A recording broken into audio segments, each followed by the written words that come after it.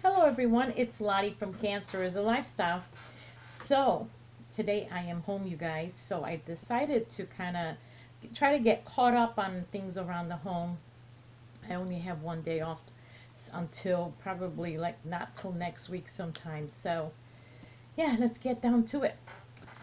Sorry the mess in the background. I've always wanted a table, you guys, where I can like do my have like extra space where I can maybe do some crafting or even like maybe do my journaling and kind of spread out and all because my desk is kind of small. But all it's been since I put it in there is like a catch-all for everything else. So yeah, really trying to clean that up. But anyway, as I promised you guys, all those shawls that I showed you, and then the previous ones that I made, like the triangular ones and all, those are going to go to uh, London Health and Rehab Center in London, Ohio. I went on Warm Up America and they have this campaign now for quite a few months uh, where they actually are looking for lapgans and shawls for various uh, senior centers across the 50 states. So just find one and they actually give you a list up there for each center how many shawls and how many blankets they are looking for. So um, just go on there find one the closest one to, to send near your home and so you will you can avoid the postage. I'm going to send it to the London Health Rehab Center in London Ohio. And so I'm going to stuff that box with as many shawls as I can. Hopefully I can get at least 10 in there the thing is with it's so you know because the shawls are big and bulky it's not like hats. You can stuff a box and send like 30 40 hats and the box isn't that big. But with shawls and blankets it's a different thing. So I'm going to try to stuff it as best as I can and send as many as I can out there. Now also I did receive um, a card from Knots of Love where we donated like um, a couple baby blankets and a whole bunch of kids uh, children's hats in various sizes. They did send me a card and they did oh, excuse me and they did write on the back you know personalize it like you know welcome to the knots of love family. And then they sent me something i've really never had to do and that's um, a form to fill out the next time I want to send them a donation. Um, I've never really done that before. I've never had to do one before, but they're asked to do that before I mail it in. So we'll see what happens. Um, okay, next thing, I bought something for myself. Uh, I don't know when I'm going to be using that eventually because I really keep my nails short, you guys. But, um, hold on a second. Sorry, you guys. I had to turn off my notifications. I turn them off and they always like turn themselves back on. I, it's like crazy. I, maybe I'm doing something wrong. But anyway, I do have a friend who sells um, the Color Street um, nail strips. And so I bought a whole bunch of, for myself. Uh, I don't really like bold colors for myself. I kind of like neutral. Even though I keep my nails pretty short now and I really don't paint them or anything. But I did at one time have really long nails. And I do like to do my toenails. So, and um, I'm actually going to, uh, I'm actually thinking about growing them back again because I really never had problems growing nails, you know. It, but anyway, let me show you because these seem kind of like you know you just press them on and you don't really have to do a lot of work with them like as if you were putting nail polish on and the base coat and the the, the straightener and all of that. And I think it, it also keeps it um, pretty good with the chipping and all. So it's supposed to be an easy peel and apply. I don't know. I'm gonna I'm thinking about growing them back again and trying it out I will try to put her link down below if you are interested in getting any of yourself for yourself. But I'm going to show you the ones that I did buy. And this this is the Giza Sands. I like neutral colors. I'm not a really pizzazzy. Like, you know, for my daughter, I did get her a whole bunch of um, real, you know, polka dots and brights and all of that. I'm not really into that. I don't want my nails to be standing out like that. This one is Manchester Mauve, which is really like uh, nice mauve colors, like, you know, darker pinks and I like more neutrally. This is very kind of pizzazzy for me, this next one, but you never know. If you have nice nails, it does look good. And now, uh, nowadays, people do a solid color and a mixed print or something. So this is Rule of Plum. I don't know if you can see it, but it's got a little bit of a pizzazz to some of them. And then I have the nice um, French manicure, Meet Me in Paris.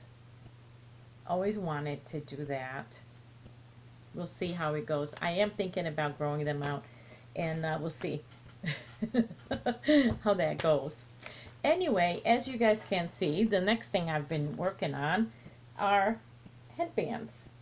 And for myself, now I am not a headband. I've never been a headband a headband kind of person, but ever since I started working and I work with seniors, I work in a nursing facility uh, where it's assisted and independent living. So uh, we are required to wear a face shield and a mask. And of course, uh, the center is kept very um, warm. They like it very warm. They're always cold. So I find myself sweating a lot. Like it's just, there's no room to breathe and all. So I thought, let me put my hair back. Let me make a headband. And these are the Yarn Bee little dollops, you guys. And uh, I bought these for at the Hobby Lobby clearance um, for 49 cents. And I remember buying them thinking, well, you know, what are you really going to do with a one little dollop, you know? But the thing is, you guys, these are actually the perfect size for my headband. And like this one is the berry, the Bella Berry that I'm wearing. And I actually have a little bit left over. So every time I made one, I had a little bit left over. oh, you know, I didn't want to do it. Maybe I should have done it a little bit more, but this is kind of how I wear it when I go to work. And it is 50% acrylic and 50% um, cotton, and it really does absorb and keep me cool. So it absorbs the, you know, the the heat, the, the sweating, you know. So I'm going to show you. This is one that I made. This is the Bella Berry, and it, I decided to make them in just a basic, simple um, double crochet. That's it. I didn't even, I'm not even, some, I shouldn't even say that, half a crochet. Is that what, how you say it? No, no, not half a crochet. Single crochet, excuse me. Oh my gosh, I don't know what I'm saying. Only because I found that they stretch. They tend to stretch. So I've ended up making them even a little bit smaller than what you would think because when you put them on, they, they stretch. And they tend to kind of be stretched after you're done wearing them. So I'm going to show you in, in a sequence because this is the last one I just made. I haven't even worn it yet. I'm going to wear them. I'm wearing it now. I'm going to wear it to work tomorrow. So this is the Bella Berry. And if you notice, it's just a, a lot of grays and some mauve in it you know. That's how it's looking. And then, let me get me my paper because what I would do is I would make my desired width. Then I would take the leftover and start a new one and then add another dollop. So, okay. So this one here is the Caramelicious. And you see how, how it stretched when I when I ended up putting it on, even though it was smaller, but it stretched. So this is the Caramelicious. And as you can see, it does have the taupes colors. So then from Caramelicious, the little bit left over, you see, is the next one I made. Here's the rest of it. And I made the Sunnylicious color, which is this part right here. I should turn it around. This right here. The yellow and the pink and the and this part here is the Caramelicious still part of it. Here's another one. The Sunnylicious is this part here. So then I had some left over. Don't look at my ends. I was able to make part of it is uh, Sunnylicious. And then this part here, the blue, is pudding pie. So I have quite a few of these. They were 49 cents, so I have four, five that I only used one, two, three, four dollops. Four dollops. And I made five headbands so I can interchange them every day for myself. So I think 49 cents you know, I'm kind of glad I did pick it up because, you know, when I was, um, when I was looking at them, I was like, what are you going to make with this little dollop, man? Is it worth it? But then I thought it's 49 cents. I will find some use for it. I will make something with it and it will be just fine.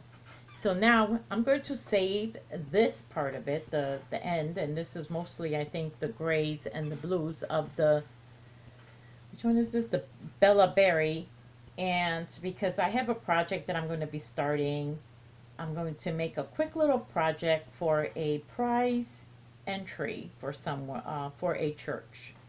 I'm going to be donating something for a raffle that they're having. Um, they're raffling off a basket of stuff, and I'm going to make a couple things for them, kind of wrap it up. I will show you what that is, and I'll be using my cotton, or like this one is 50% only cotton and acrylic. But anyway, you guys, that's what I have. I have my little dollops. I, I was using them. I think I might have had one more somewhere, but I have not. I am trying to organize my my table so I can use it. And also, I'm, you know, I'm bringing out my yarn because I have been crocheting and kind of depleting. So then I got more to put in. But anyway, that's what I've been doing today. I did my laundry, I cleaned my house, and then I'm going back to work tomorrow. So that's how it looks. But anyway, that's what I've been doing the last couple days. And I will see you guys tomorrow. Bye-bye.